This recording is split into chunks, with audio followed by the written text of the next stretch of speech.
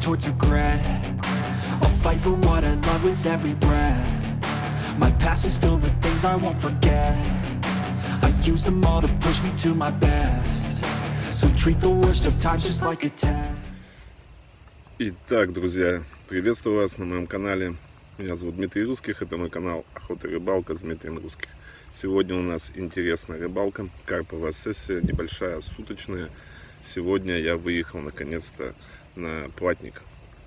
Сегодня расскажу вам особенности рыбалки на платном водоеме, как это я делаю, какие у меня успехи, кстати, по платным водоемам особо у меня и трофеев-то не было, потому что особо не ловил. Так приезжал с друзьями, им помогал, они ловили, я как всегда так, играющий тренер. Выехал я на пруд в районе 11 часов. По погоде ветрено, надо думаю, к вечеру успокоиться. Сейчас покажу вам, как я до, сюда, до этого пруда добирался. Это Воткинский известный пруд, это пруд-двигатель. Такой небольшой водоем в районе 3 гектар. Типичный водоем с бывшей речкой, то есть была текла речка, ее запрудили, получилось русло, и по бокам береговая линия, ну, с подтопленным корежником. Есть основные точки лова с, с, это, с основного нашего берега, получается, с, с подъездов.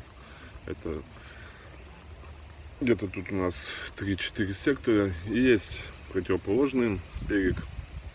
Там, соответственно, почти не рыбачат, там зона покоя. Потом покажу вам карту, точки и карту с успешными рыбалками. То есть люди тут отловились моей методике, поймали карпов. И это вы все увидите. Простите, что-то заикаюсь. Так, дальше что? Наконец-то у нас лето вступило в свои права. Стабильность какая-то появилась в погоде. Плюс на работе выдался один выходной, я этим воспользовался. Далеко ехать не могу. Из этого выбор один, это платный водоем вблизи, вблизи города. Это почти все простые рыбаки и так начинающие карпятники этим пользуются. Вот об этом вот сегодняшний фильм. Он будет небольшой, но познавательный.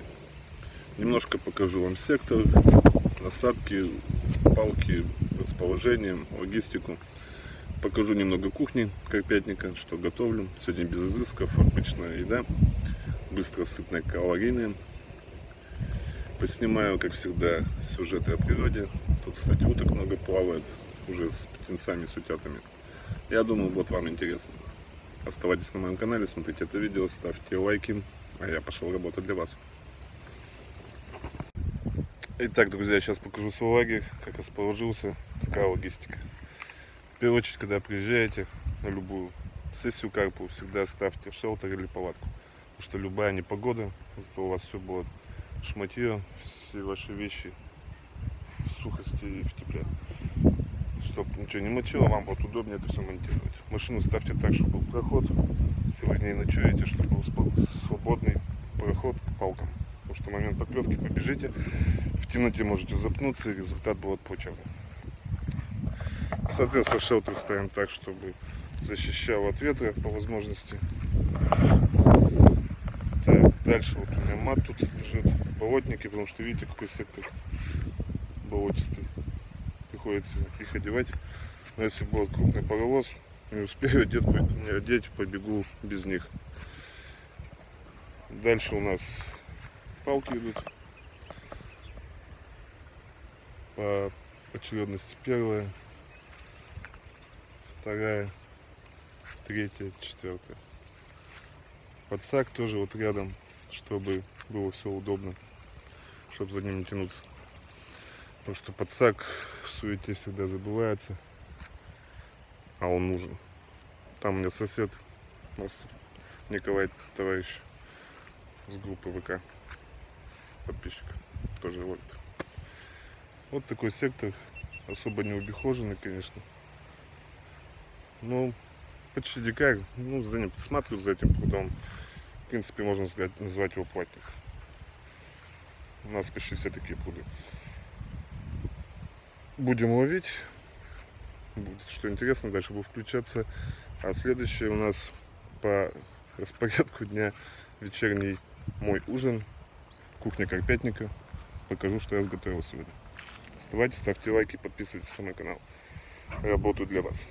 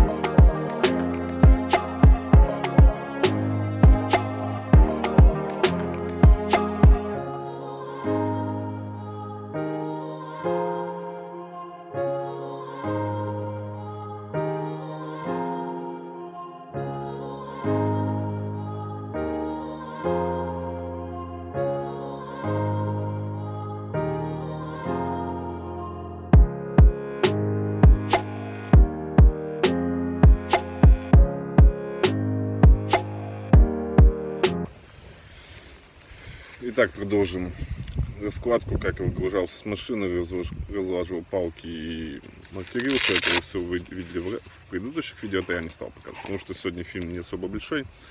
Больше уделим внимание, уд- уделим внимание главным аспектам, как правильно ловить на платных водоемах. Но есть основы, есть азы кайфишинга, которые нельзя, которым нельзя пренебрегать. Это выбор точки лов- ловли в воде. Хорошо, когда вы уже знаете, где вы будете ловить. Вам кто-то скинул карту, вам посоветовали, вы приехали, вы уже готовы. Но все равно для себя надо это изучать, потому что вам в будущем пригодится. Как я это делаю? Обязательно разложу, раскладываю палки, беру маркерный груз, пробиваю лучи именно на зацепы. Потом беру эхолот, пробиваю бровки, температуру, скопление рыбы. На леске потом ставлю типа метки из скотча и уже знаю, когда и где я буду как ловить. Потом забрасываю на пластиках или на ПВА пакетах. Соответственно, чтобы пробить длину ловли, я использую, вы уже видели обзор небольшой, использую дальнометр. То есть я закинул эхолот диппер, он у меня плавает. Когда я нахожу нужное место, точку, и я пробиваю по этому эхолоту дальномером. И узнаю дистанцию. Сейчас я этот пруд особо не изучал. Пробью себе расстояние, сколько вообще он в ширину, в длину. И уже заведу все это в бортовой журнал. Смотрите. Так.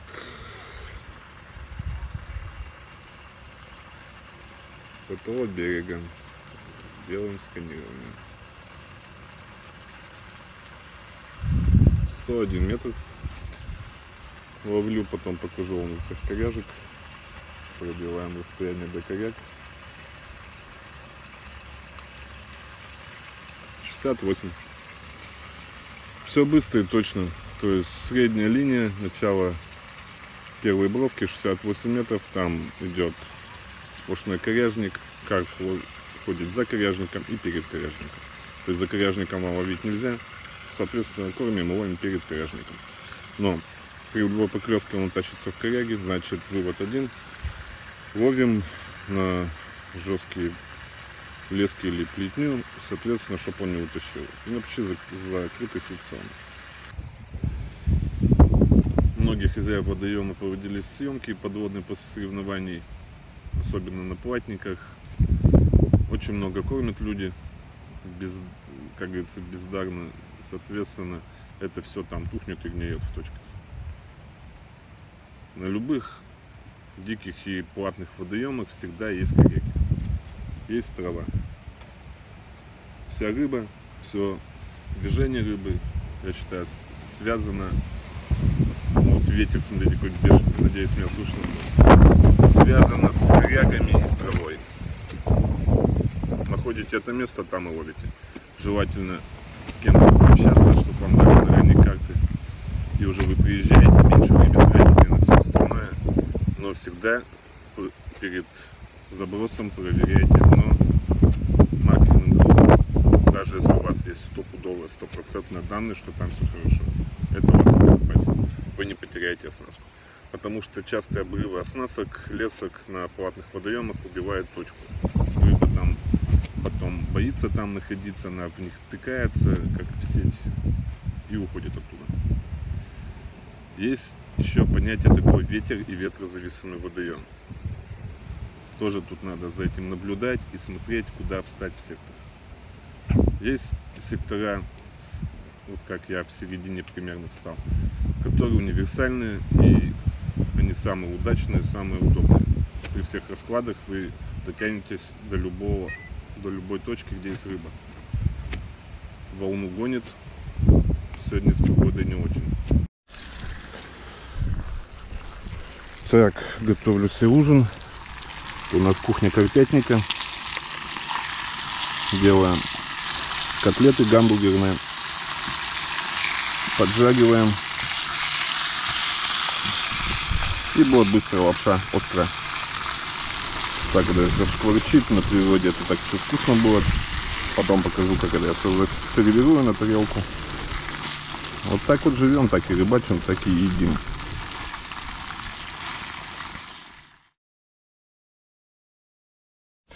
Итак, друзья, вот у меня мой карповый журнал по каждой рыбалке.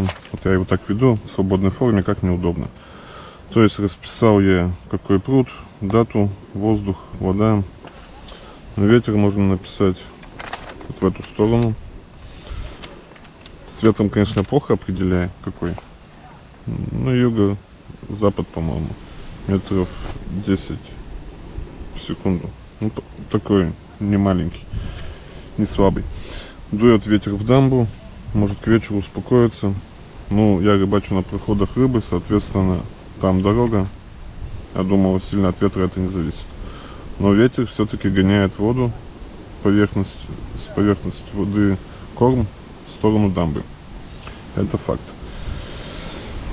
Так, у нас температура стабильная, давление особо не скачет. Я думаю, будут удачные поклевки. Соседи, правда, попадаются шумные, но это ничего страшного. Так вот я расписал точки, резервную точку и всю информацию, то, что об этом пруде было, когда были выходы рыбы и когда были поклевки. Это важно. Дальше буду записывать, что происходит на этой моей рыбалке. Так, это в сторону. Пока. Сейчас, пока у меня готовится ужин, время у нас 5 часов, надо, я думаю, закормиться с коброй. Так, будем кормиться с пыликами. Так, у меня сумка специальная. Мои пыльники 20 миллиметров Fish. Еще на, на ночную точку немного стоять будет. Рыбалка суточная, из-за этого надо быстро все выкармливать. Потом времени не будет.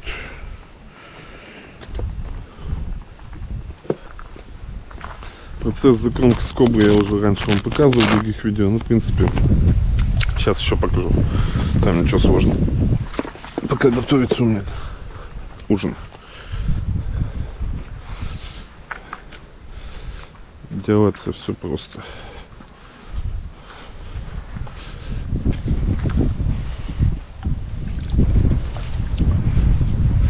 Главное кормить с определенной точки.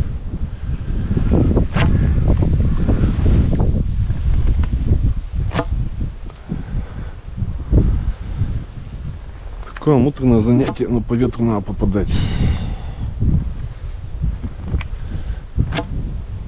То есть надо точность и навыки. Чем чаще кидаете, тем лучше. Закармливаем пятно в районе 10-15 метров вдоль коряк. Там, соответственно, все оснастки у меня и расположены ветром тяжело, конечно, кормиться. У нас выбора нет. Потому что скоро проход рыбы вечерний.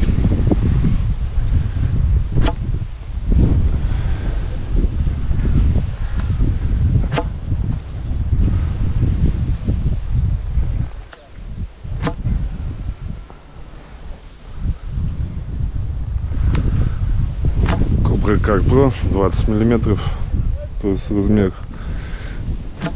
под размер боя 20 миллиметров, так у него диаметр 22. При навыках, в принципе, до килограмма выкармливаться вообще быстро. Тут особо точности, конечно, нет, но нужно закармливать ковер. В шахматном порядке желательно. Это будут маяки для карпа, он будет по ним ходить. В чем плюс? Эти бойлы только съест он, потому что они крупные и твердые. Постепенно будут отдавать свои пылящие элементы ему в воду. Он их найдет и будет ходить по этим точкам, подходить к оснасткам. Так, друзья, время у нас 6 часов, скоро вечер. Будем готовить закорм для ближней точки. Возьмем немного пыликов моих, 20 миллиметров Fish. Их же выбрал типа дамбаусов для насадки на ночь на ближнюю точку. И пелец. И пелец. Мелкая фракция с крупной. Закормимся. Добавим немного рыбьего жира для ароматики.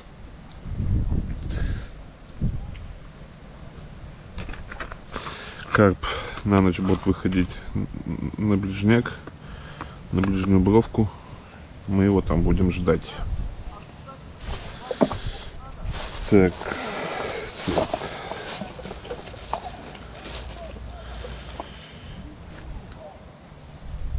И немного меласы естественного бетаина.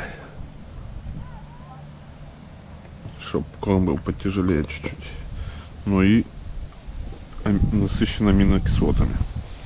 Руки после этого обязательно мойте тщательно, потому что это слабительное. Соответственно, после этого вам будет тяжело дальше находиться на рыбалке. Так. Эту мы процедуру сделали. Где наш ковшик?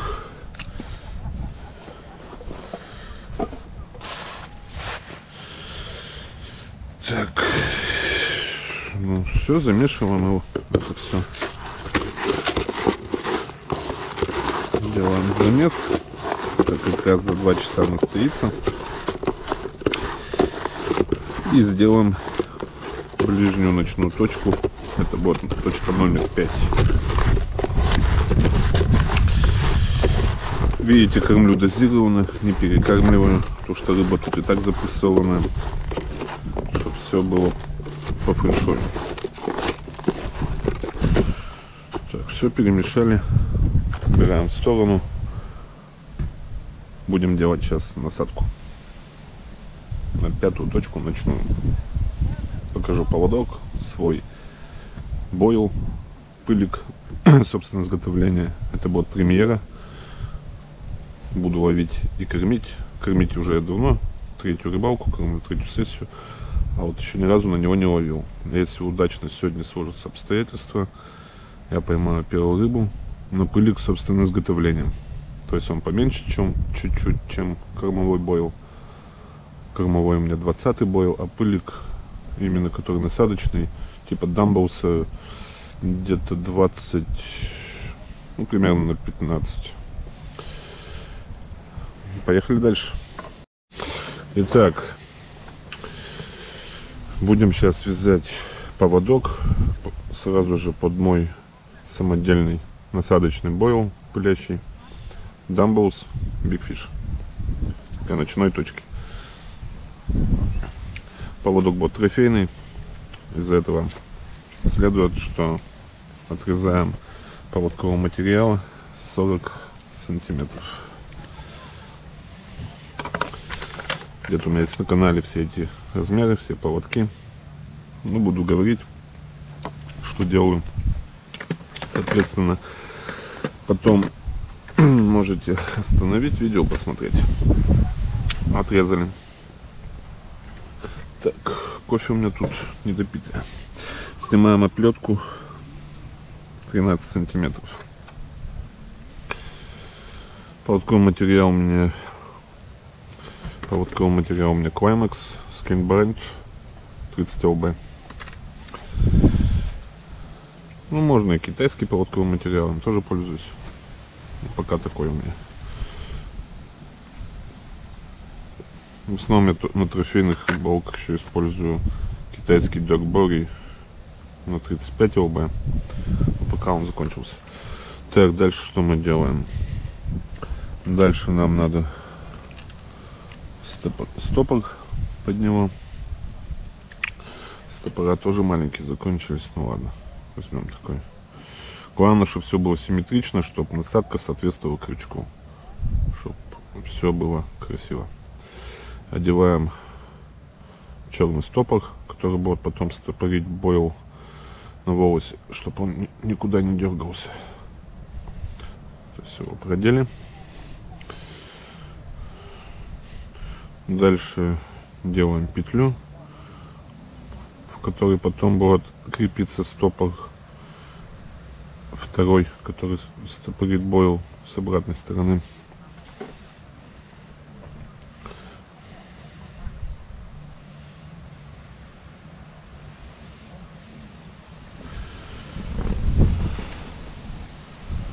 Процедура требует навыков.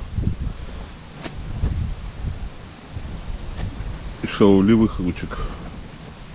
То есть пальцы и руки должны быть не дубовые, чтобы вязать поводки. Что нужна гибкость.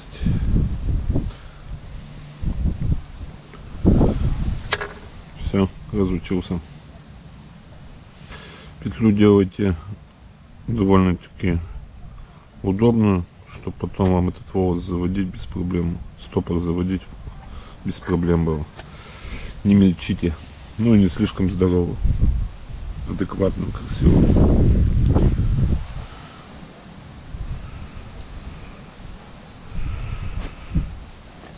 Так вот у меня со второго раза получилось. Она особой нагрузки не несет, я так спокойно подтягивайте без фанатизма. Лишнее все отрезайте обязательно.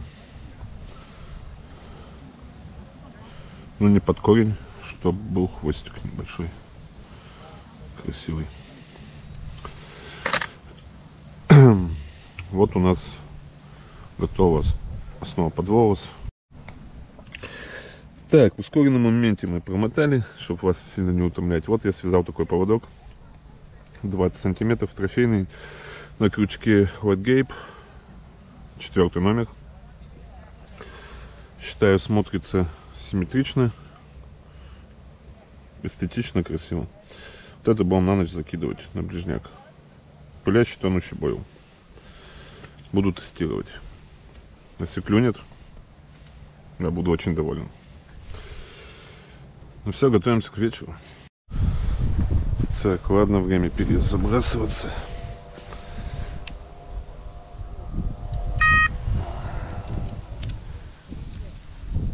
кинемся, если, конечно, там зацепа нет у нас.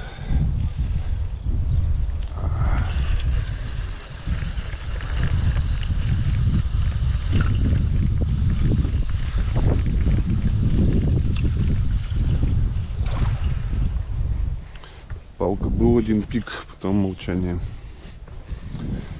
Сейчас все переделаем.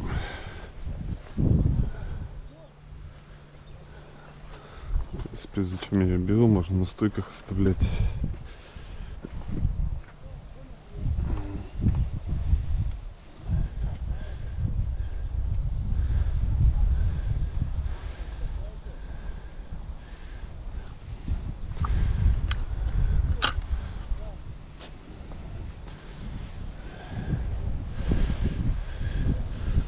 Так, желтый не сработал. Не нравится ему что-то.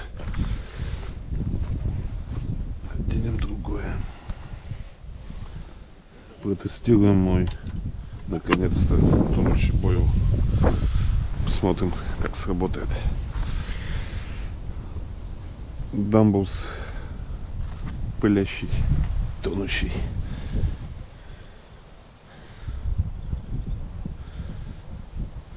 Ну, уже забивать не буду, буду использовать как груз.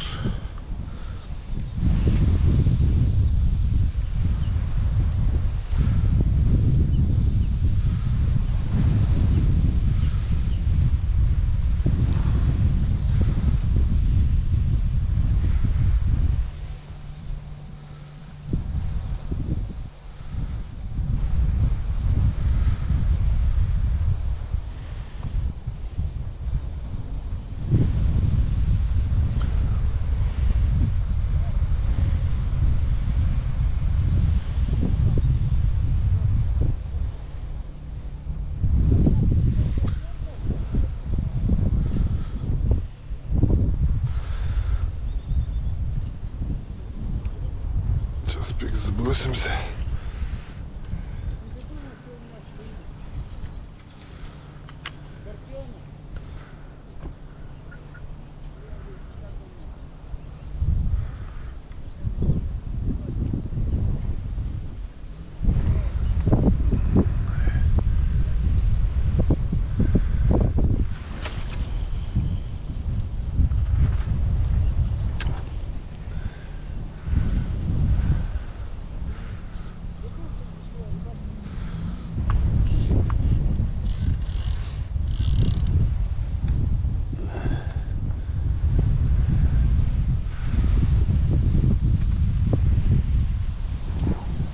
Все, перезакинулись.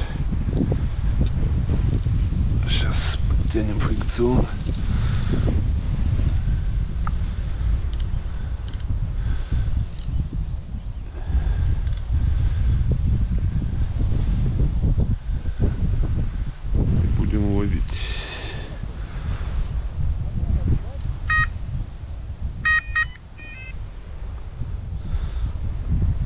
Все, погнали. Ну господа, вечер. Мой ужин скромный готов. Ужин карпятника. Сегодня выезд короткий. Соответственно, ничего особого такого сверхъестественного я не готовил. Зато все бюджетно, вкусно и сытно. Тут котлеты бургерные, говядина, свинина. Лаваш, лапша быстрая, острая. Это все будет вкусно. И мне этого хватит этих калорий до утра. Кто еще не ужинал, приятного аппетита. Оставайтесь на моем канале, подписывайтесь, ставьте лайки. Работаем дальше. Рыбалка в, разгаре. Скоро будут поклевки карпа. Без проблем мы поймаем эту рыбу.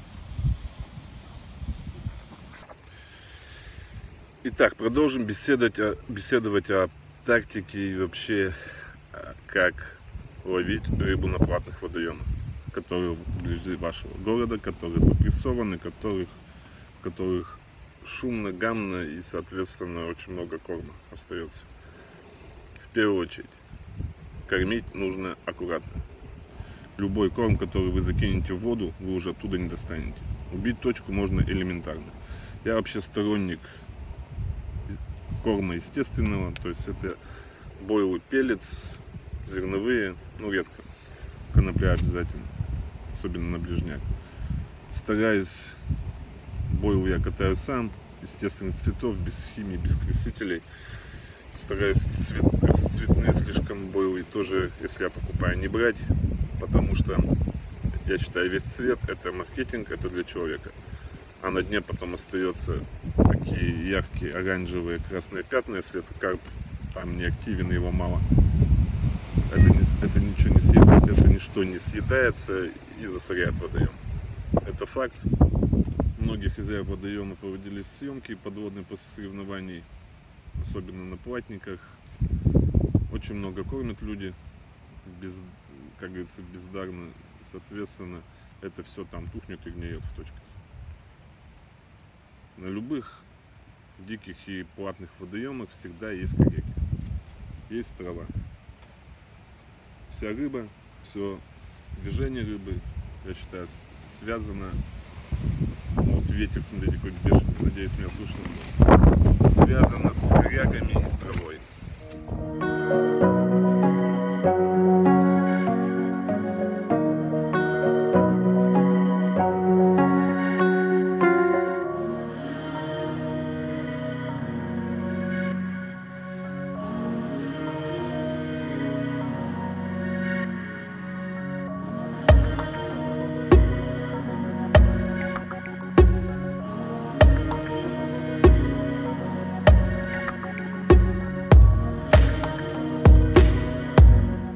Итак, друзья, у нас прошли почти сутки.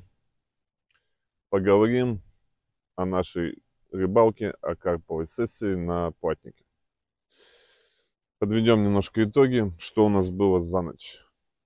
Ночью спустился опять туман, было холодно.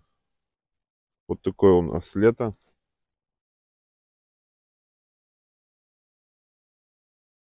Вот такое у нас лето. Я в шапке.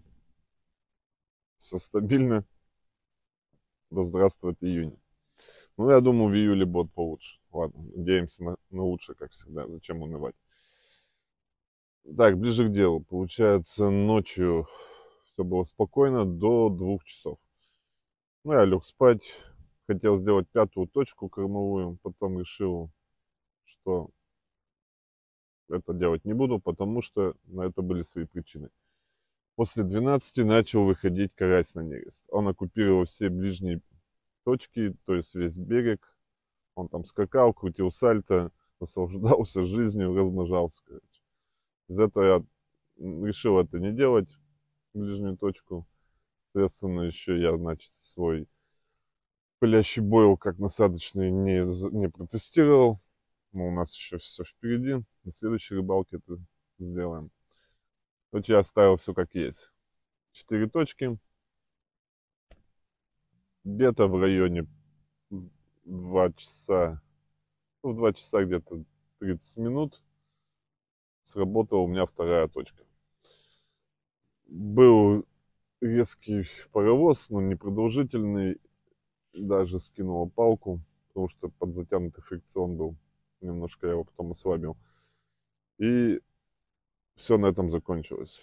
Ну, я соскочил с машины, как всегда, с подушкой с одеялом, выбежал, все уронил, подбегаю к палке, паровоза нет, вымотал, то есть как мне засекся. Скорее всего, был небольшой тузик, и вот тоже есть такая особенность, слишком затянут фрикционы, таким тузланом плохо даются ну, то есть, был бы он послабже затянут, он, может быть, и подсекся. Скорее всего, такой он небольшой мел был тузлан, что насадка была поверх губы и не засек. Ну ладно.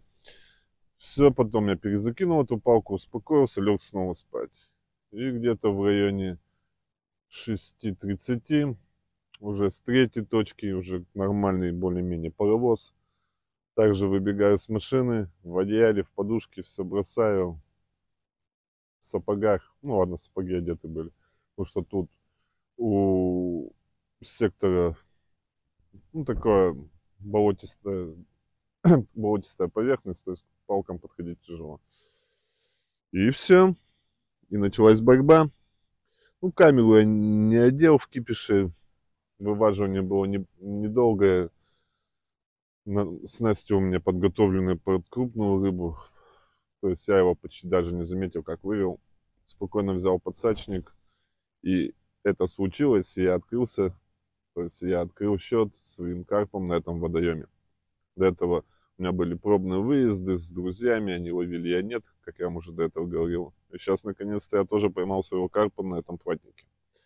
Что меня не может не радовать, я доволен, пусть это и клюнул тузик тоже в районе 3 килограмм зеркальный, потому что пруд платный, он зарыблялся, тут особо таких погонистых карпов типа сазанов нет, но это мне все равно радует, что я поймал рыбу, поймал карпа своего трудового и поймал с кормовой точки, поймал по своей тактике и все сработало как надо. Вот такие итоги этой ночи. Сейчас у нас по времени 9 часов. Опять усилился ветер. Опять он дует в дамбу. Вывод могу сказать один. Такой ветер я никогда рыбу не ловил. Она почему-то не клюет. Или у меня такое предубеждение. И всю рыбу выдуло, выдувает, по-моему, в дамбу. Ну, ветер может поменяться. Я, у меня точки на дороге в зоне покоя карпа, и, соответственно, ветер поменяется, ветер перемен, и мы можем снова ловить рыбу. Время еще есть, в районе там до 12, до часу, посмотрим, может до двух. Конечно, вода подостыла, движение такое ветреное верхних слоев воды, он, оно, это вода, ветер и вода тащит кислород, какой-то корм, и все дует в дамбу. Ну, я не расстраиваюсь, у меня уже есть результат. Хотелось бы поймать какой-нибудь, конечно, бигфиш за шестерку. Но я думаю, все впереди. Есть время. Так, сейчас походим, посмотрим обстановку по водоему. Ночь была тихо, спокойно, можно сказать. Хотя мне говорили, что водоем ночной, ловятся тут все ночью. Ну, почти, почти правильно сказали, ночью была поклевка и ранним утром получается. Ну, не ранним, а утром. Была уже поклевка с реализацией. Так, все, работаем дальше. Подписывайтесь на мой канал. Ставьте лайки. Смотрим это видео. Работаю для вас, делаю обзор специально пруду для вас, чтобы вы могли спокойно, в свободное время сюда приехать. Пруд – это район деревни Двигатель. Шаговой, можно сказать, доступности, в, ну, в пределах там 3-4 километров от города. Поехали дальше.